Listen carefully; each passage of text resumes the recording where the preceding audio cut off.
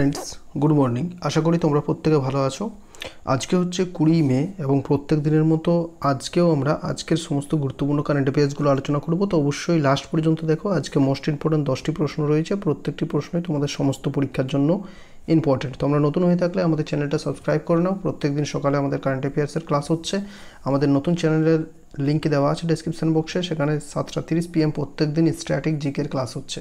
তো ক্লাসগুলো অ্যাটেন্ড করো, সামনে অনেক এরপর কিন্তু পরীক্ষাগুলো ধীরে ধীরে তোমাদের হবে। করোনার সময় এই আমাদের খারাপ পরিস্থিতি কেটে গেলেই কিন্তু পরীক্ষাগুলো শুরু হবে। তো তোমাদের প্রিপারেশন জারি রাখতে হবে। চলো তাহলে আজকের ক্লাসটা শুরু করা যাক। তো আজকের আমাদের প্রথম কোয়েশ্চেন সম্প্রতি কোন দেশ তাদের সবচেয়ে শক্তিশালী সুপার কম্পিউটার সিমর্গ তৈরি করেছে? কোন দেশ তাদের সবচেয়ে শক্তিশালী সুপার কম্পিউটার সিমর্গ যার নাম দেওয়া হয়েছে Simorgh S I M O R G H তৈরি করেছে? কারেক্ট আনসার হবে Iran. Option A is the correct answer Iran তাদের সবচেয়ে শক্তিশালী সুপার কম্পিউটার এটা তৈরি করেছে। আজকে আমার একটু সময় কম ছিল সেই জন্য তোমাদের আমি পিকচার উইথ পিকচার তোমাদের আমি ক্লাসটা করাতে পারছি না। পিডিএফের সাহায্যে করাচ্ছি। তো নেক্সট ডে থেকে কিন্তু পিকচার দিয়ে ছবি দিয়ে ক্লাস করানো হবে, ঠিক আছে? তো ইরান এটা তৈরি করেছে। তো এখানে তোমাদের একটা হোমওয়ার্ক দিয়ে দিচ্ছি। ইরানের রাজধানীর নাম কি তোমরা এটা কমেন্ট করে জানাবে প্রত্যেকে। তো ইরান দেশীয়ভাবে ইরানের তেহরান ইউনিভার্সিটি অফ টেকনোলজি এটা তৈরি করেছে। Artificial intelligence work loads traffic and weather data এবং ইমেজ প্রসেসিংয়ের কাজে এটা ব্যবহার করা হবে। ঠিক আছে? তাহলে option A is the correct answer Iran. পরবর্তী প্রশ্নে যাব, তার আগে বলব, আমাদের ক্লাসটা ভালো যদি লাগে, তো অবশ্যই এক্ষুনি তোমার বন্ধুদের সাথে শেয়ার করো এবং প্রত্যেকে লাইক করে দাও। আজকে এক হাজার লাইকের টার্গেট রাখছি, আশা করছি প্রত্যেকে লাইক করবে। তো দ্বিতীয় প্রশ্ন, কোন রাজ্য সম্প্রতি medicine from the sky project চালু করেছে? তো এটা একটা খুব ভালো প্রজেক্ট চালু করেছে তেলেঙ্গানা। খুব ভালো উদ্যোগ, তেলেঙ্গানা চালু করেছে মেডিসিন ফ্রম দ্য স্কাই এটা কি হবে না ড্রোনের সাহায্যে স্কাই থেকে আকাশ পথে মেডিসিন সাপ্লাই করা হবে? প্রথমত এটা তেলেঙ্গানাতে অবস্থিত। সরকারি একাধিক ড্রোন এর মাধ্যমে প্রাইমারি হেলথ সেন্টারগুলোতে মেডিসিন অ্যান্ড ভ্যাকসিন সরবরাহ করবে। প্রথম একটা তেলেঙ্গানাতে রয়েছে, যেটা ভিকারাবাদ হাসপাতাল রয়েছে। যার নাম হচ্ছে ভিকারাবাদ হাসপাতাল। সেই হাসপাতালের চতুর্দিকে ষোলোটি হেলথ কেয়ার সেন্টার রয়েছে। সেই ষোলোটি হেলথ সেন্টারে এই প্রজেক্টটা চালু করা হচ্ছে এবং ধীরে ধীরে তা সমস্ত রাজ্যে কিন্তু চালু করা হবে। যখনই যেখানে হোক বা ভ্যাকসিন বা যে কোনো মেডিসিনের প্রয়োজন পড়বে ড্রোনের সাহায্যে আকাশপথে সেটা সেখানে সরবরাহ করা হবে। তো তেলেঙ্গানার কারেন্ট অ্যাফেয়ার্সগুলো একবার আমরা রিভিশন করব। সম্প্রতি ইভি এর ওপর রেজিস্ট্রেশন ফি এবং রোড ট্যাক্স তারা বিনামূল্যে করেছে। অর্থাৎ ইলেকট্রিক ভেহিকেল এবং ইলেকট্রিক ভেহিকেলের ওপর কোনো প্রকারের রোড ট্যাক্স লাগছে না। তেলেঙ্গানার governor top twenty global women excellence দু একুশ পুরস্কার পেয়েছেন।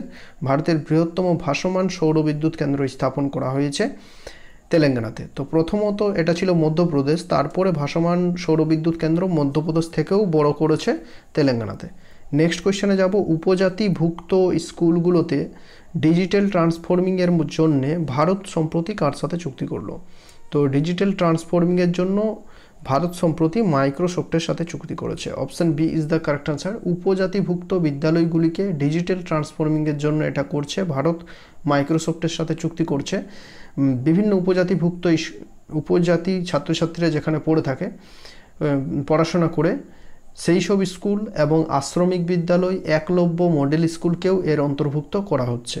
তো এটা কিন্তু ট্রাইবাল মিনিস্ট্রি করছে, সেন্ট্রাল ট্রাইবাল মিনিস্ট্রি। তো বর্তমানে সেন্ট্রাল ট্রাইবাল অ্যাফেয়ার্স মিনিস্টার কে রয়েছেন বা উপজাতিভুক্ত মন্ত্রী হচ্ছেন অর্জিন মুন্ডা। এবং এখানে দেখো মাইক্রোসফট, এর সিইও হচ্ছেন সত্য নাদেলা এবং হেডকোয়ার্টার হচ্ছে মাইক্রোসফটের হেডকোয়ার্টার ওয়াশিংটন। নেক্সট দেখো, কোন দিনটি প্রত্যেক বছর আন্তর্জাতিক আলোক দিবস বা ইন্টারন্যাশনাল লাইট ডে হিসেবে পালন করা হয়ে থাকে? তো প্রত্যেক বছর সিক্সটিন মে, ষোলোই মে দিনটি আন্তর্জাতিক আলোক দিবস হিসেবে পালন করা হচ্ছে। বিজ্ঞান, সংস্কৃতি ও শিল্প, শিক্ষা, স্থায়ী উন্নয়ন, চিকিৎসা, যোগাযোগ এবং শক্তি ক্ষেত্রে আলোর মূল্যকে তুলে ধরার জন্যই প্রত্যেক বছর ষোলোই মে ইন্টারন্যাশনাল লাইট ডে হিসেবে পালন করা হচ্ছে। পরবর্তী দেখো, মক্তার ওয়ানে পুনরায় কোন দেশের প্রধানমন্ত্রী নিযুক্ত বা নির্বাচিত হয়েছেন হবে এটা? নির্বাচিত হয়েছেন মক্তার ওয়ানে। তিনি পুনরায় মালি এর প্রধানমন্ত্রী নির্বাচিত হয়েছেন। Option D is the correct answer. তো মালির রাজধানীর নাম হচ্ছে বোমাকো, মালির মুদ্রা হচ্ছে সিএফসি ফ্রাঙ্ক এবং প্রধানমন্ত্রী হচ্ছেন মকটার ওয়ানো। পরবর্তী প্রশ্ন, প্রয়াত হলেন কি রাজনারায়ণন? নাম হচ্ছে কি রাজনারায়ণ তিনি কোন ক্ষেত্রের সঙ্গে যুক্ত ছিলেন? কারেক্ট আনসার হবে, তিনি একজন বিখ্যাত লেখক ছিলেন। তিনি একজন বিখ্যাত তামিল লেখক ছিলেন। তাহলে option A is the correct answer এবং তিনি কিরা নামে বেশি পরিচিত ছিলেন। কিরা নামে, ঠিক আছে? এবং তাকে pioneer of Karisal literature Karisal literature এর পিওনিয়ার হিসাবেও তিনি পরিচিত ছিলেন। উনিশশো একানব্বই সালে তিনি সাহিত্য একাডেমি পুরস্কার পেয়েছিলেন গোপালা পুরাথু মাক্কাল নামক একটি লেখার জন্য। গোপালা, এটা তোমরা লিখে রাখো খাতাতে, গোপালা পুরাথু মাক্কাল নামক একটি রচনার জন্য তিনি উনিশশো একানব্বই সালে সাহিত্য একাডেমি পুরস্কার পান। তিরিশটিরও বেশি বই তিনি লিখেছেন। তাহলে অপশান এ কারেক্ট আনসার তিনি একজন লেখক ছিলেন কি রাজানারায়ণ? নেক্সট কোয়েশ্চেন আজকের হোমওয়ার্কটা দেখো, এখানে তোমাদের একটা হোমওয়ার্ক আমি করতে বলেছি, যেটা ইরানের রাজধানীর নাম কি তোমরা কমেন্ট করবে। এর সঙ্গে আরেকটা কমেন্ট করবে, যেটা হচ্ছে জস যে ঘূর্ণিঝড় বাইশ তারিখ বা তেইশ তারিখের মধ্যে পশ্চিমবঙ্গে ঢুকবে সুন্দরবনে, সেই ঘূর্ণিঝড়ের নামকরণ করেছে কোন দেশ? সেটা তোমরা প্রত্যেকে কমেন্ট করো, ঠিক আছে? তাহলে দুটো হোমওয়ার্ক কমেন্ট করো তোমরা। দ্বিতীয় প্রশ্ন, কে প্রথম ভারতীয় ফাইটার হিসেবে এম এম এ টাইটেল জিতলেন? তো সম্প্রতি ভারতীয় বংশোদ্ভূত ফাইটার হিসেবে বা প্রথম ভারতীয় ফাইটার হিসেবে অর্জুন ভুল্লার এই খেতাব জিতেছে এম এম এ টাইটেল জিতেছে। অর্জুন ভুল্লার এবং রানার আপ হয়েছেন ব্রান্ডন ভেরা। অর্জুন ভুল্লার দু হাজার দশ এবং দু হাজার বারো সালে কমনওয়েলথ গেমসে সোনা জিতেছিলেন। এবং তিনি প্রথম ভারতীয় ফ্রি স্টাইল রেসেলার যিনি কিনা অলিম্পিকে কানাডাকে রিপ্রেজেন্ট করেছে। তাহলে option A correct answer Arjun Bhullar. পরবর্তী প্রশ্ন, কোন রাজ্য সরকার কোভিড ডিউটি করতে গিয়ে মারা যায়?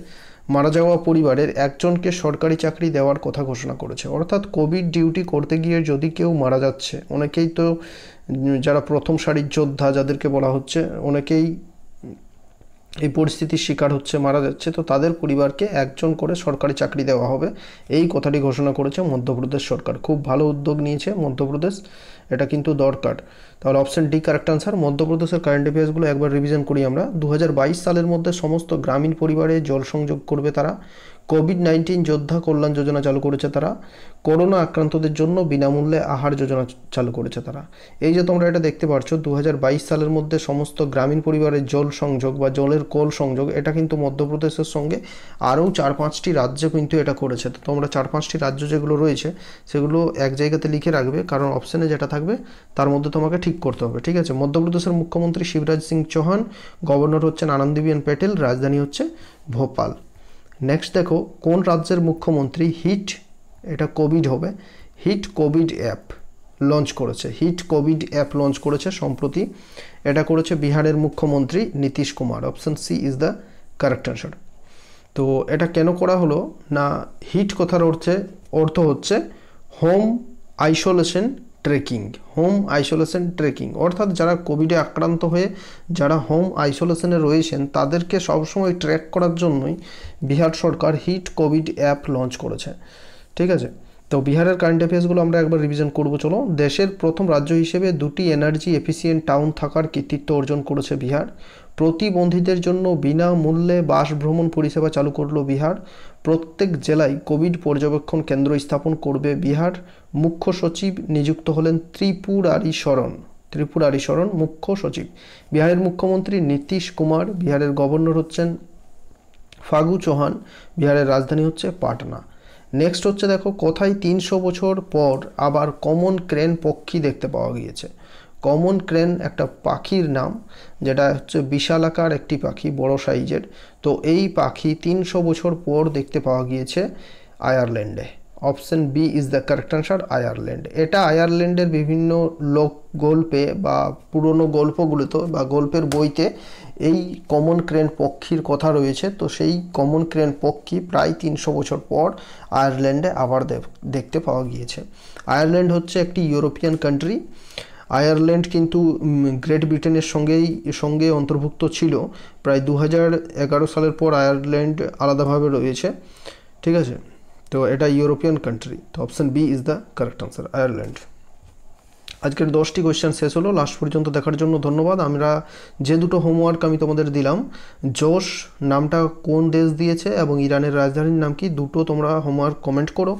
ডেসক্রিপশানে আমাদের দ্বিতীয় চ্যানেলটা অনেকেই এখনও সাবস্ক্রাইব করেন করোনি তোমরা, অনেকেই সাবস্ক্রাইব করেছে। তো তোমরা করে নাও, কারণ সাতটা তিরিশের যে জিকে ক্লাসগুলো হচ্ছে, প্রত্যেকে তোমরা কিন্তু অ্যাটেন্ড করো। ক্লাসগুলো খুবই তোমাদের জন্য দরকারি। এবং আমাদের টেলিগ্রাম গ্রুপে জয়েন করো ডেসক্রিপশন বক্সে লিঙ্ক দেওয়া আছে। থ্যাংক থ্যাংক ইউ সবাইকে। এবং প্রত্যেকে লাইক করে দিও। Thank you